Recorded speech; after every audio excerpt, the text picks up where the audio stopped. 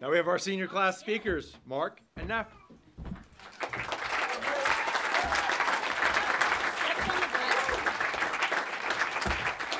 I don't want to use that. Let's just stand next to it. All right. So hot, but Hi. That was more important.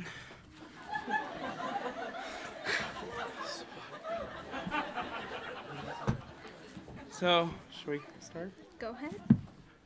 Hi, Mark. Nef. Okay. Why did this fat, rich Chinese boy come to Midland? Were his parents trying to punish him? Did he just rob a bank and need a place to hide in the middle of nowhere? Because this place does not fit him at all. Most of you guys probably thought this before. Nope, the first reason I come to Midland is because the Cate school denied me.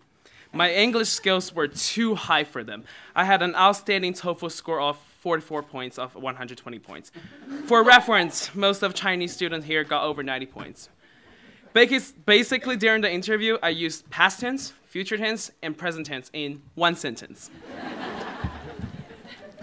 so Midland adopted me anyway, so thank you, Amy Graham.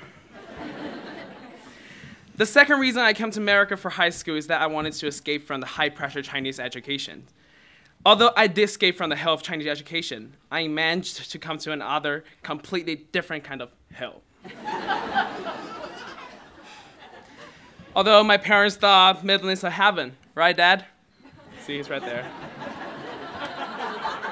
Um, because when we toured the school and he first saw the sign that said "Welcome Mark Gone and his family," he chose to believe this is the best school in the world. so with thousands of complaints and millions of tears, I say goodbye to my phone. No, phones.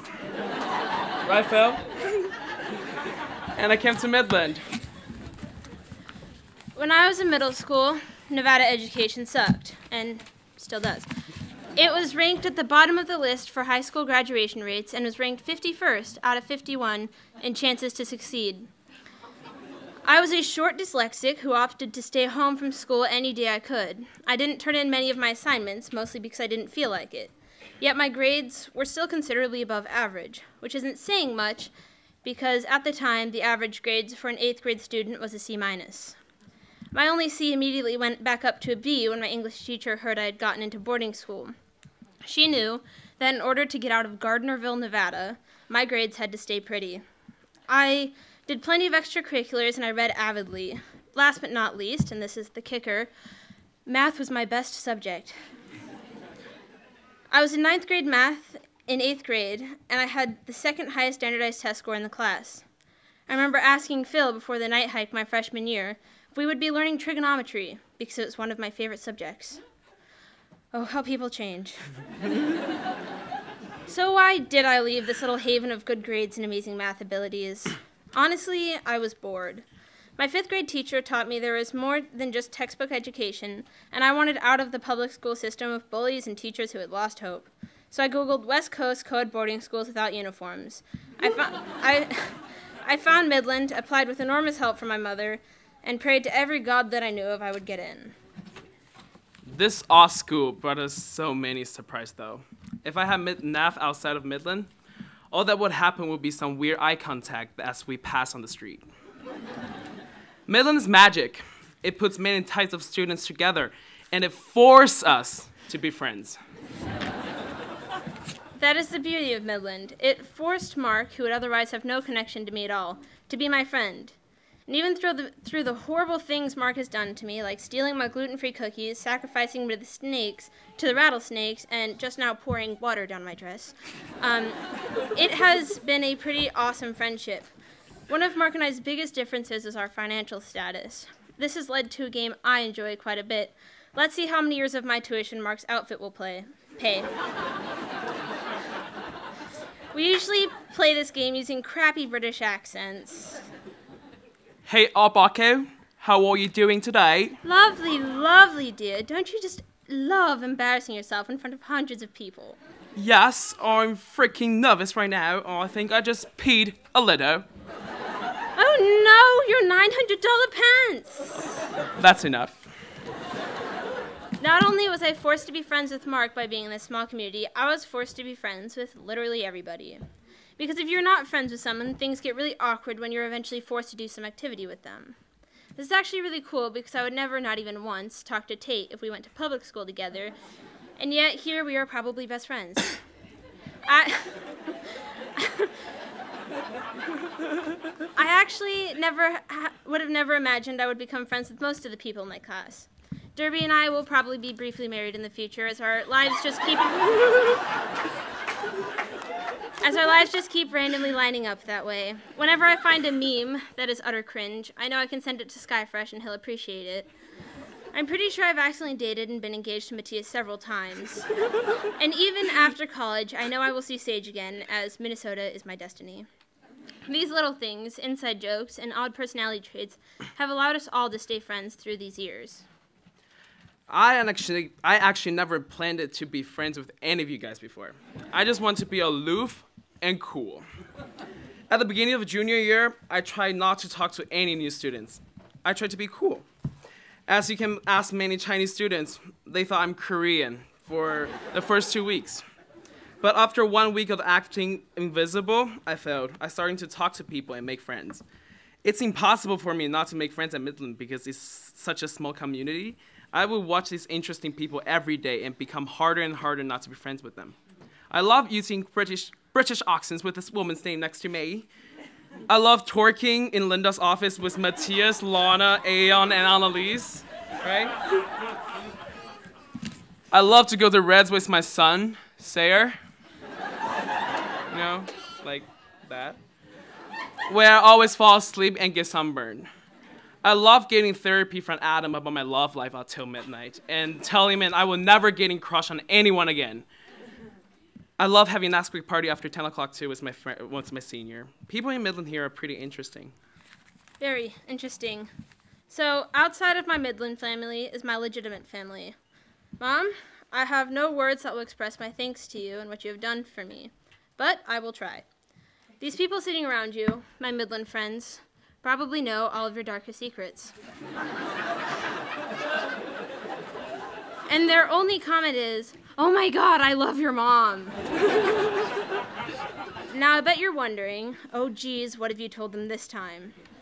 I told them all these horrible things, like for how for 18 years you've given everything that you possibly could to, Tem- to me and Temujin to give us the amazing lives we have. I'm so happy you finally found Karen, because um, to have somebody to lean on when things get hard is something you've been without for so long. And even better than that, she makes you happy. You're the reason I'm up here now, and that is one of the great, greatest gifts you've ever given me. In my memory, my dad is the toughest person in the world. No matter how big a problem he faced, he will never give up. This is pretty awkward. I never said this to him before.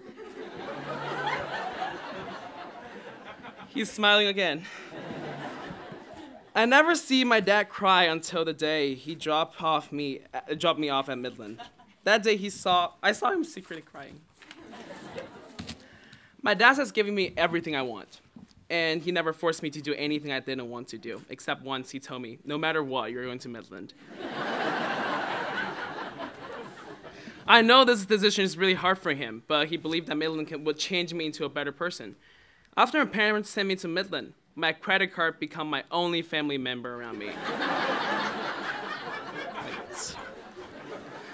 Using the credit card was the only way I would talk to my family. The amount I spent represent how much I miss them. so mom, as you can see, I miss you so much on freshman year.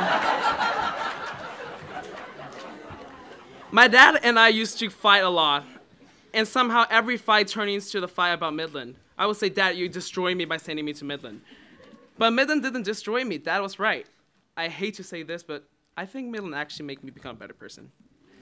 So today I want to say thank you to my mom and dad that decision you guys made four years ago and learned so much from this top environment. And surprisingly, I liked it here. I never went through that.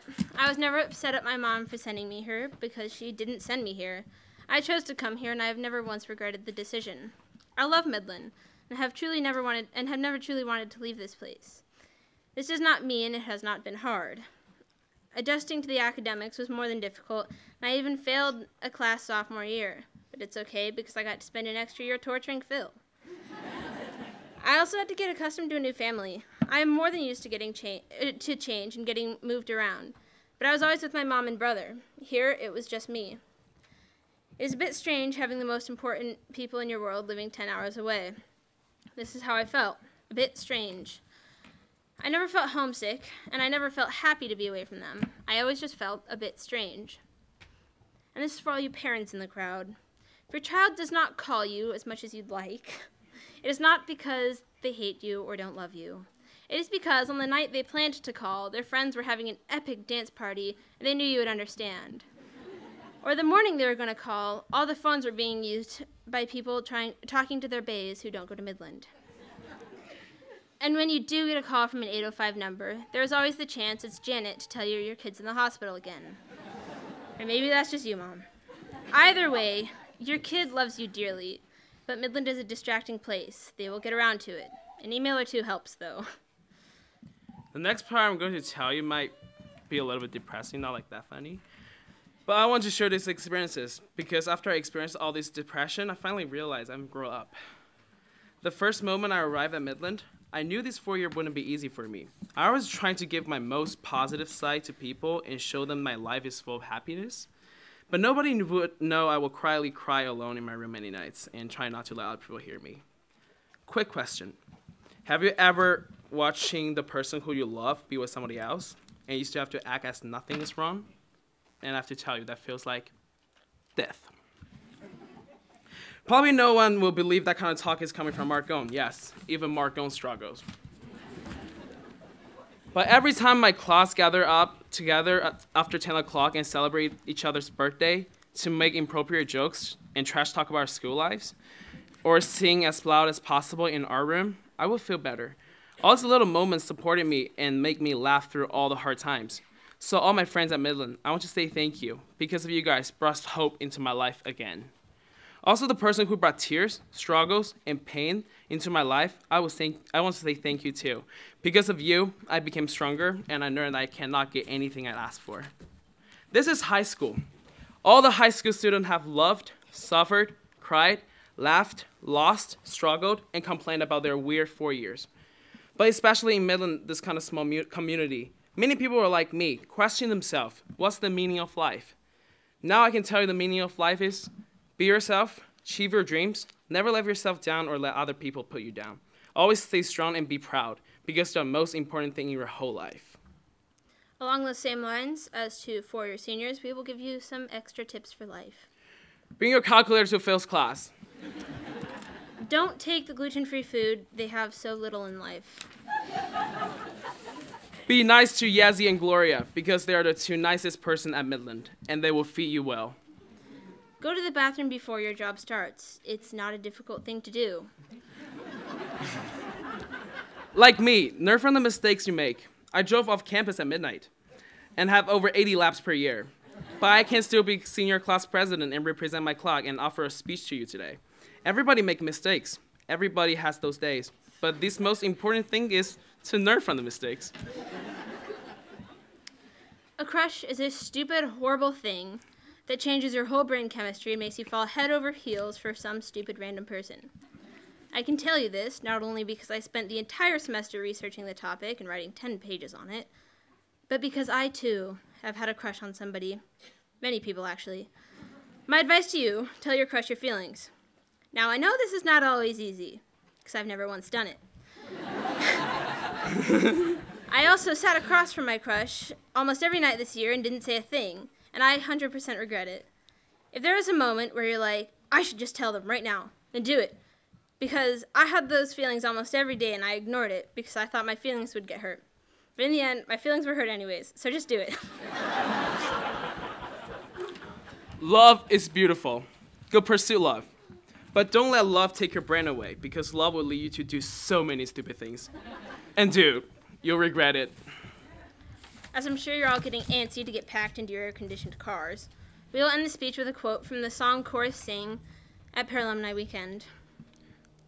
So long, farewell, auf vida, say goodbye. I'm glad to go. I cannot tell a lie. Goodbye.